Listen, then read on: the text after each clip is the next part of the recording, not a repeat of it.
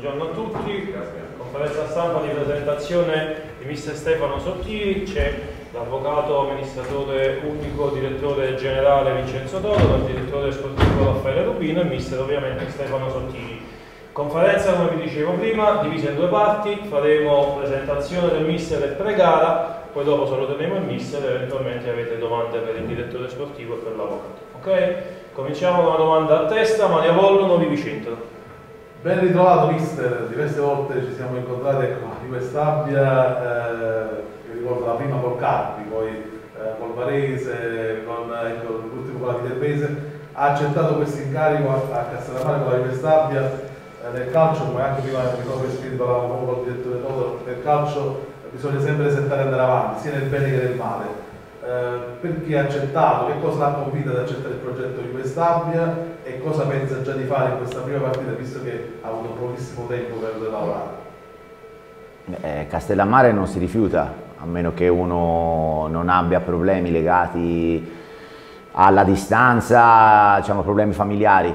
Eh, non si rifiuta, credo che ci siano le condizioni eh, tecniche e societarie per poter eh, centrare l'obiettivo minimo che la, che la società mi ha richiesto.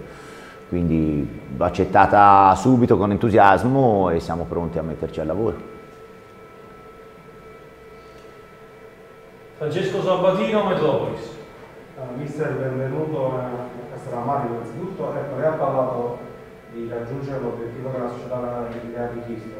In tal senso cosa era chiesto, visto che il mister Maglino non si era ben capito, no? il mister parlava di una salvezza importante, la società sempre parlava di playoff, quindi volevo chiedere un po' cosa le ha chiesto la società obiettivo. No, se con questo organico si chiede, si chiede la salvezza, secondo me non siamo in linea con quelli che sono i valori della squadra. Questa è una squadra che, che ha l'obiettivo di arrivare tra le prime dieci, questo è quello che mi ha chiesto, che mi ha chiesto la società arrivare tra le prime 10 non vuol dire arrivare decimi. Eh, secondo me arrivare decimi credo che debba essere l'obiettivo minimo che deve, avere, che deve avere questa squadra, questo gruppo. Poi gli obiettivi ci si creano strada facendo, eh, con la possibilità di, di migliorarli anche. Gaetano Donofrio il mattino. Quindi se quando si subentra eh cosa si dice alla squadra, qualche squadra ha trovato eh, già incontrata, no? rispetto anche alla situazione che dopo tre sconfitte comunque di fila non, non, è mai facile e se si aspettava magari eventualmente subentrato in una fase in cui c'erano tre gare in una settimana, quindi al centro della settimana pochi giorni per lavorare, insomma le difficoltà che, che ci sono in questo senso. La difficoltà maggiore è quella di aver avuto solo finora un allenamento, eh, fra poche ore saranno stati due gli allenamenti per, poter, eh, per poterci conoscere meglio e poter aiutare la squadra a rendere per quelle che sono le loro, le loro possibilità. Eh, questo è, stato, è, è, il problema più grande, perché comunque aver avuto almeno una settimana per andare a preparare una partita sarebbe stato sicuramente più agevole è chiaro che in questo momento devono essere bravi i ragazzi a trovare una, un po' d'orgoglio, una reazione, a voler dimostrare che eh, possono fare di più rispetto a quello che è stato fatto finora. Giuseppe Amato, il resto del calcio. Sì, salve mister. Grazie. Mm, innanzitutto volevo chiedere, perché la società ha sempre parlato di un progetto a medio-lungo termine, eh, quanto è la durata del suo contratto, se c'è una prospettiva di medio-lungo termine con la Juve stabile per lei, magari anche legata a degli obiettivi. E poi volevo chiederle dall'esterno che idea si era fatto della situazione Juve stabile. Allora, eh, la proprietà la proprietà, la società, eh, perché poi il rapporto diretto nella, nella trattativa oltre che con, eh, con, il direttore sportivo eh, è stata con, eh, con l'avvocato, quindi eh, c'era anche la possibilità di parlare di un contratto pluriennale, sono stato io a, a non volerlo perché non mi sem sembrava, dice ma questo è un pazzo, no, però non mi sembrava giusto, ho detto ma detto, voi lo valuterete a fine anno se, se merito la, possibil la, possibilità di un rinnovo in una piazza, in una piazza così importante. Detto, e poi dopo ci rimetteremo a sedere e se ne riparlerà. Detto questo... Quindi senza opzioni, è un... No, c'è solo, solo l'opzione scritta in caso di, di promozione, mm, so, solo quella. Okay, quindi il, il, contratto è di durata fino al 30 di giugno. Eh, per il resto che idea mi ero fatto? Mi ero fatto un'idea di un organico e una squadra che potesse essere competitiva per eh, uno dei posti dei playoff. Eh, questa era un po' l'idea che mi ero fatto vedendo l'organico. Poi è chiaro che c'è che c'è lo sviluppo dell'annata, che può essere condizionata da, da, più fattori, da più situazioni.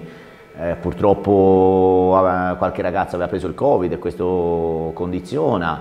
E magari se c'è stato un cambio tecnico probabilmente insomma, cioè, eh, magari la, la, la, la società era, era convinta che, che, la squadra potesse fare qualcosa di più.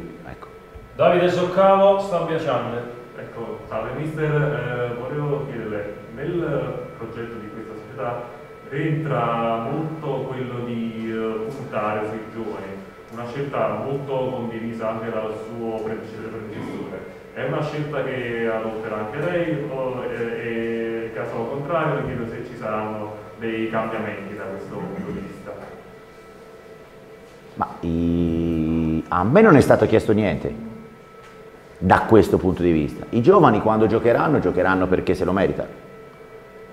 Perché in quel momento lì li ritengo più utili e che possano dare più garanzia per quella partita lì e quindi verranno schierati solo ed esclusivamente per scelta tecnica, non perché i giovani debbano giocare per portare eh, un contributo economico alla società questo credo che, che, debba essere, che, debba essere, chiarito, è un argomento che abbiamo affrontato con, con, la società, mi hanno dato totalmente carta bianca, poi è ovvio, cioè ora non ci prendiamo in giro, se la società alla fine della stagione si ritrova 2, 3, 400 mila euro perché c'è stato il contributo dei giovani, eh, ben venga, non è che penso che li buttino via, anzi possono essere utilizzati per migliorare la parte organizzativa, strutturale eccetera eccetera ma non mi è stato posto nessun vincolo, quindi quando i giovani giocheranno, giocheranno perché li riterrò più idonei e più adatti in quel momento lì per, per la gara. Domenico Ferraro, Gazzettino Vesuviano. Ciao benvenuto. Grazie. E, e, dopo il primo allenamento che ha fatto, come ha trovato psicologicamente la squadra dal punto di vista psicologico e dal punto di vista atletico? Se ha trovato qualcosa, e poi che modulo più o meno pensa di fare vedendo l'organico mette a disposizione? Eh, come l'ho trovata? È difficile parlare di come l'ho trovata perché arriviamo ad, ad, fare la prima seduta di allenamento in una situazione anomala con eh, la squadra che comunque ha giocato l'ultima partita poco tempo fa, eh, quindi ti ritrovi anche con una situazione eh, non omogenea, ci sono quelli che non hanno giocato e che sicuramente sono più freschi e più brillanti, quelli che hanno giocato che possono avere un minutaggio maggiore, insomma monopoli e possono avere qualche difficoltà in più eh, o hanno bisogno di recuperare in più, quindi è un po' così, è una valutazione che deve essere un po' più capillare, un po' più centellinata. Eh, dal punto di vista psicologico è chiaro che è una squadra che in questo momento è abbacchiata e consapevole che sta facendo meno di quello che, è, che sono nelle loro possibilità. Credo che questo sia anche un, un senso di... Mi hanno dimostrato di avere la percezione di questo, quindi di un senso di responsabilità eh, comunque nei confronti della piazza, nei confronti della, della società, nella consapevolezza che c'è la necessità di cambiare marcia se vogliamo raggiungere, se vogliamo raggiungere quell'obiettivo che secondo me è raggiungibile. Ultime due. Ah, scusa, ok, eh, mi ero dimenticato. Eh, io ho una mia idea, ma non te la dico perché. La vedremo. No, la, la vedrete, potrà variare, non sarà eh, assoluta, ok? Non sono. No, no, no, no, credo che in alcuni, in alcuni momenti della stagione ci debba essere anche un po' di elasticità da parte del tecnico in base anche ai giocatori che hai a disposizione, ma non te la dico perché se, vo- se voglio avere anche un minimo vantaggio, ehm, minimo, piccolissimo, ora in questo momento de- devo cercare di sfruttare tutto per la gara di domenica, vo- vorrei lasciare il mio collega un po', un po' nel dubbio di quale sistema di gioco andremo, andremo da fare, ma tanto cambia poco, dopo 30 secondi lo vedranno e quindi insomma. Ultime due rapide, Maria Vollo, mi vicino. Ecco, proprio guardando al prossimo incontro c'è un Ezio Capuano che è ex della Juve Stabia, uno che diciamo, fa giocare male le squadre avversarie perché ha detto questo 5-3-2 un po' particolare. È una partita, non dico spareggio reale, perché ecco, ne abbiamo già parlato che stiamo parlando di un obiettivo più alto la Juve Stabia, però questa distanza di due punti fra la Juve Stabia e Messina possono generare un po' di ansia anche da prestazione dei calciatori anche in lei, cioè nel senso di dire questa non la dobbiamo perdere assolutamente. No, eh, l'ansia nel giocare a calcio non ci deve essere. Poi è chiaro che il risultato è, è importante sempre, ma non deve essere questo tipo di ansia. Ma Noi dovremo, dovremo avere- incominciare ad avere la mentalità, si gioca per cercare di vincere. Cioè, le partite, tutte, anche quando si presenterà qua il Bari, l'obiettivo è quello di fare tutto il possibile per provare a vincere la gara quella volta che non giochiamo da soli, quella volta che non riusciremo a vincerla sarà perché saranno stati più bravi i nostri avversari, avremo trovato delle difficoltà, ma eh, l'obiettivo è quello di allenarci durante la settimana per fare tutto il possibile la domenica per provare a vincere le gare. Eh, il Messina è organizzato, sappiamo le, le capacità, le capacità del mister, sappiamo che sarà complicato eh, sviluppare una manovra offensiva importante perché, perché hanno grande organizzazione e ti metteranno in, in difficoltà. E noi dovremo essere bravi e pazienti cosa che magari probabilmente eh, la gente, i nostri tifosi domani lo saranno, lo saranno, meno, ma dovremo essere bravi, pazienti e lucidi eh, nel non farci prendere alla frenesia, nel voler per forza, è una partita che dura tanto, non dura 20 minuti, durerà fino a che l'arbitro non fischierà, come diceva il buon, il buon, il buon Boscov, e quindi consapevoli di questo dobbiamo anche essere certi che sarà una partita molto complicata. Ultima, Gaetano Donofrio e Mattino. Uh, mister, uh, già dalle sue parole ha portato una ventata di positività che nelle ultime settimane forse uh, sembrava si fosse creata una situazione un po' più così. potesse incontrare adesso i tifosi, ecco, dopo queste tre sconfitte, cosa direbbe direttamente a loro? E poi se secondo lei, in quest'abbia a parte, in queste prime giornate si è già più o meno delineato un po' quello che potrebbe essere l'andamento del campionato per le zone che contano. I tifosi...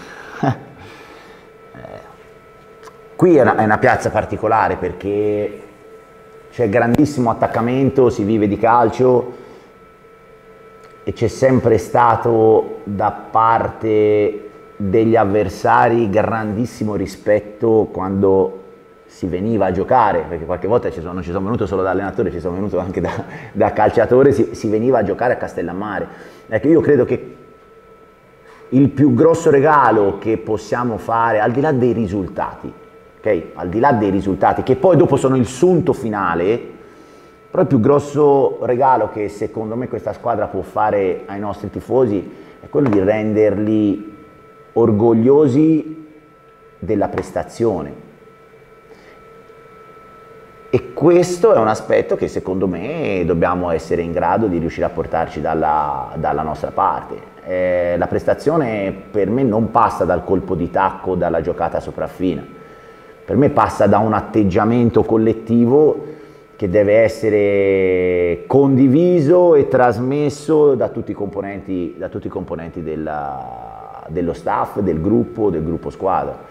Quindi eh, questo mi piacerebbe, mi piacerebbe che alla fine stagio- a fine stagione eh, i, nostri, i, nostri, tifosi eh, fossero orgogliosi di quello che questi ragazzi sono riusciti a mettere in campo e poi non dimentichiamoci, cioè, noi portiamo in giro il nome, cioè, non ci chiamiamo Pinco Pallino, cioè, noi portiamo in giro il nome di, di una città e, e quindi dobbiamo esserne, esserne consci e esserne consapevoli di questo. Grazie, grazie mister.